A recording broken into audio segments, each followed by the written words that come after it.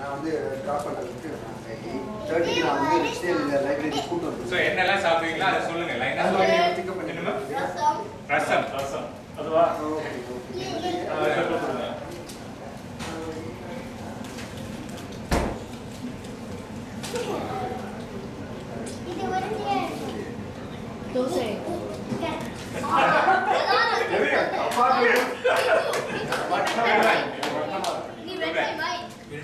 来了